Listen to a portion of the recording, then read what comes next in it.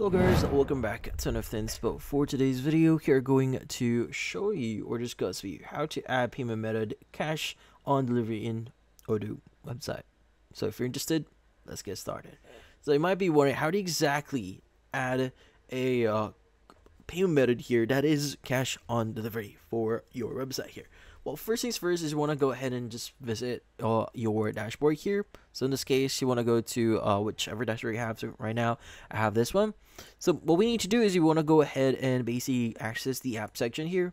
And in this case, at the very top, you want to go and just type in the following, which is going to be cash on delivery.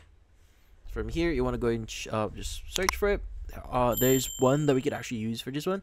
So you go in and click on the install button here. And also, by the way, if you want to use this, you need to basically modify your pricing plan. So in this case, uh, your database will be locked unless you buy an Odoo subscription here. So current, uh, if you currently have like a test website only, you may need to again modify your pricing plan in order for you to use this specific app here.